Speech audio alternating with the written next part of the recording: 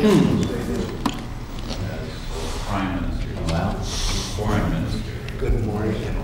I line in the, where they had lived tea, and we, we added the prime oh. minister because he got his nose out of job.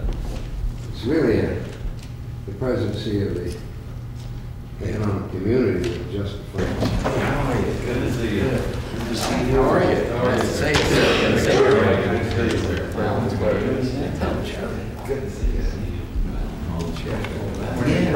How are you? Good to see you. Yes. Uh, meeting with the prime minister and foreign minister. You've already noted that they are political rivals. Uh, me, is much tougher and much more decisive than who has been flaky at times, and he had been prime minister uh, before. Uh, You'll have a half-hour meeting here, followed by, and then there's a dinner tonight which the vice president uh, represents uh, you and government. Uh, Tindemans remains for three days after Martens departs, and I think we'll do some uh, further economic work during that period. There are several things that should come up. I know there was concern here. But we'd like to have you.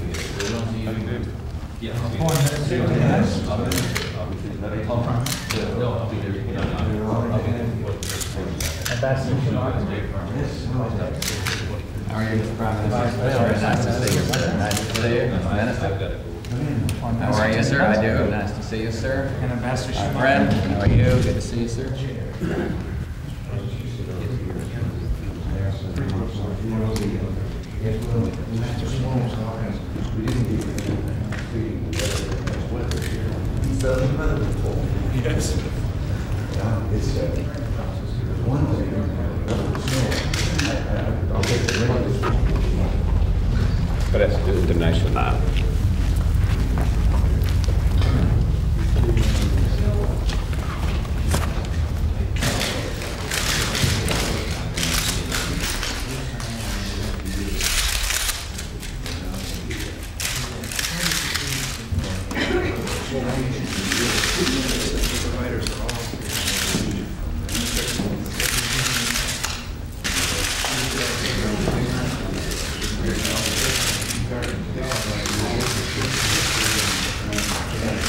Please, thank you.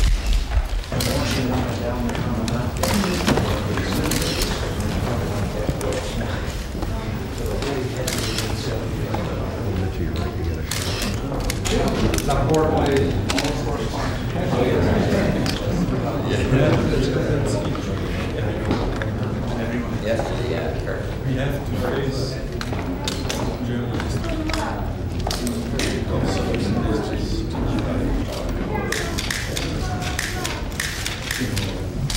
Remind me that ranch. Wrong country. Come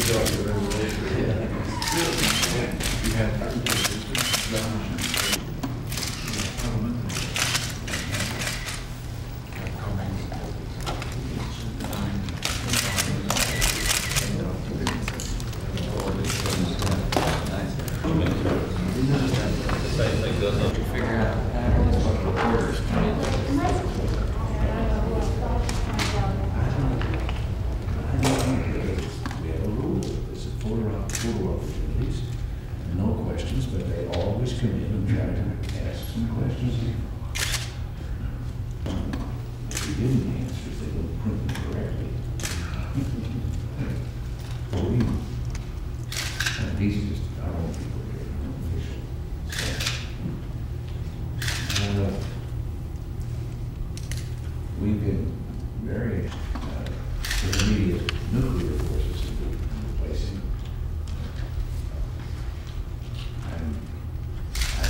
probably have this suggested to you. But, uh, I haven't been over here because I know probably this incident is the problem.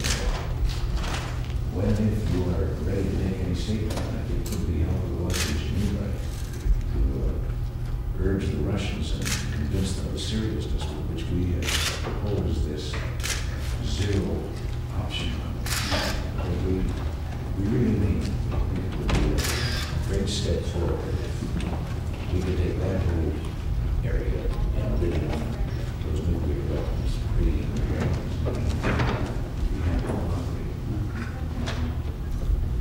When you've made a decision, I figure you can. Maybe uh, Maybe somebody could.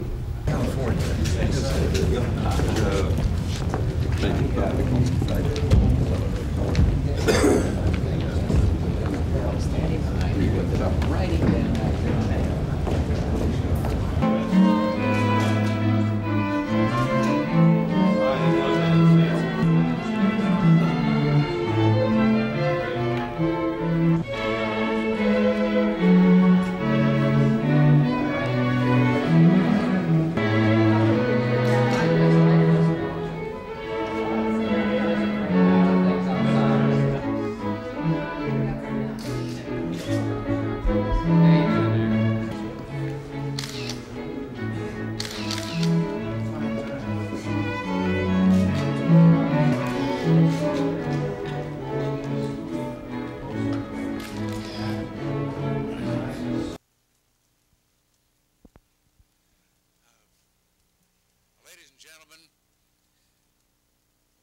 I'll make this very brief. Prime Minister Martens and Foreign Minister Tindeman, their party, the other representatives of the government of Belgium, but also the Prime Minister is the President of the European Community Council. We've had a very valuable meeting, covered a great range of issues, found ourselves in great agreement with regard to the double track of the intermediate nuclear forces. We had great discussion, found great agreement and support here with regard to our position in El Salvador and a recognition of what is at stake there. And a very fruitful discussion of the economy, economic trade, and what we can do to be mutually helpful. So, Mr. Prime Minister, we're very proud and happy to have had you here and look forward to further meetings. Thank you. Ladies and gentlemen, first of all, I would like to repeat my thanks to the President for his generous hospitality. It is indeed for the Belgian delegation an honor and a particular pleasure to be here in Washington. Secondly, I can fully subscribe to the statement that the President has just made. In my capacity of Prime Minister of Belgium and as Chairman of the European Council, I had the opportunity to explain to our American friends both the Belgian and the European positions. The discussion with the President and his advisors, all they will be pursued right away with the Secretary of State, have proved very useful in fostering mutual understanding.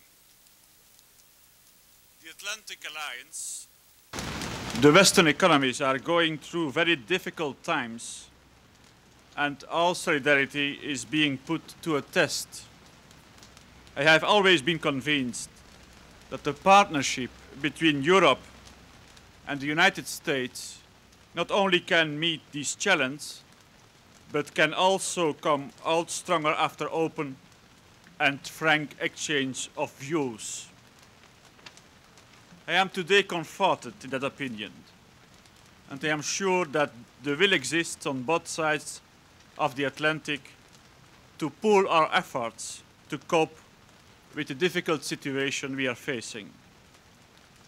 Our two countries have the same goals peace, prosperity, and the democratic ideals of individual freedom. The differences, when they occur, are more on tactics than of substance. I am look, looking forward in pursuing this conversation along with other allies when we will meet again at the next NATO summit in June. I thank you. The press conference tomorrow will be indoors.